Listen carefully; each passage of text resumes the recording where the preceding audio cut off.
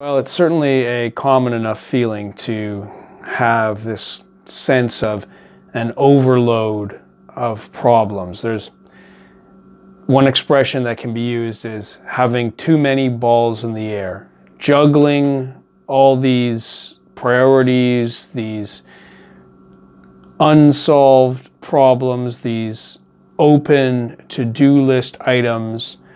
There's like this cloud of things that I need to think about, things that I need to resolve. And it's easy for that to really weigh down on the mindset.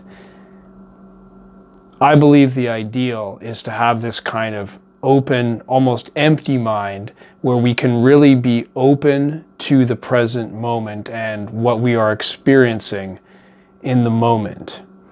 And that's why it can be so helpful to do exercises that help to get us out of our head, out of the overthinking, and simply into feeling the body. So, bringing everything to the immediate sensory experience of the moment and stepping out of the world of circling thoughts. And it seems like it doesn't take a very high number for it to start to become this oppressive cloud. Because it seems that we, the way our minds work is we can think about a small number of items at one time. Uh, I believe some people say, is it four to seven? Some kind of small handful of a number of things that we can keep thinking about and have in our short term memory active in our minds to be able to process and think about and work on. And as soon as we get over that number, it just feels like overwhelm. Uh, just like the idea of juggling balls that, you know, even I, who I know knows nothing about juggling, I could sometimes maybe juggle two balls.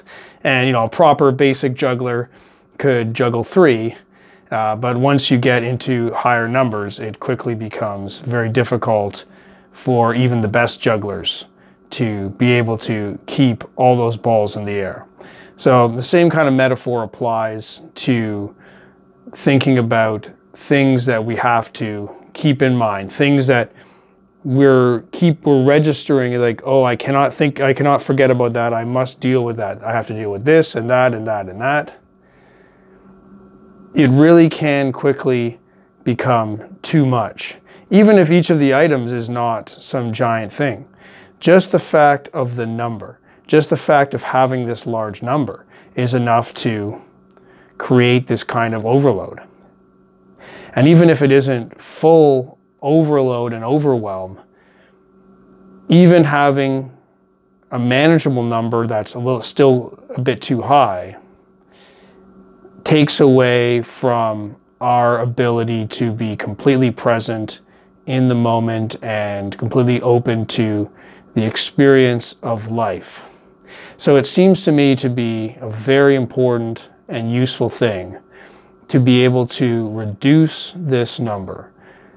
How can I reduce the number of things that I'm thinking about? it's almost like going backwards between what you imagine. It's almost like childlike to imagine going to this kind of simple state where you can really think about only one thing. Where it seems like this adult state is, you know, taking on more and more responsibilities and, you know, almost like proudly, there's, there's a certain pride to it in being able to juggle all these different things, you know, and I got, and there's, there's a certain kind of a feeling, you know, oh, I got things going, I got this and that and that, and I'm, you know, I'm rolling everything, I got this, you know, all these different things, I'm keeping them going, keeping them going, just like the feeling of like cooking when you have like five different pots going at the same time and like you get into a, a roll. And so in those moments when it's on a roll, then it feels, feels pretty good. It feels like, wow, I'm getting a lot done. But of course, we can't be cooking with five pots, you know, throughout our entire waking day, every day. Uh, and to those to those uh, chefs that can do that, I can only salute the the ability to to do that uh, for such an extended period of time. Uh, because it's not, for most of us, it's not, we're not always going to be in that flow state of the happy juggling. It only takes one little thing being off, one pot too many, uh, or one ball too many of juggling, one pot on the stove too many uh, simultaneously for the cook, and the system can go from that kind of fun, uh, juggling, keeping everything going feeling, riding the chaos, managing the chaos, to simply exploding into chaos and everything quickly falling apart. So, as much as that feeling of the multiple managing, keeping all these things going, that's that, that can be a fun feeling. Um, but it seems to be very easy to go too far in that direction and into total chaos. So it seems to me like reducing the number of things that we have to think about is a very useful thing to do. And there's no shortage. There's certainly no shortage of possible things that we can think about. So, in terms of being able to enjoy the fun of the chef on the stove with five pots, there's no danger of, you know, simplifying things too much. Uh, that would be uh, you never have to worry about making things too simple because anytime you want to add complication, there's just instantly a huge menu of things that you could possibly take on new concerns, new responsibilities, new things to think about, new things to do. There's an overwhelming number of possible things. So all we need to do is bring it down to a manageable number. And then there'll be, we can still have all the multiple pots, multiple juggling balls fun and getting things done and doing all this and yet keeping it on the near side of chaos. Just just enough of a number that we do not let the system fall into complete chaos. But I think for most of the time, you know, with the exception of the, the fun of this kind of multiple managing style, for most of the time, it's better to reduce the number even further to simplicity.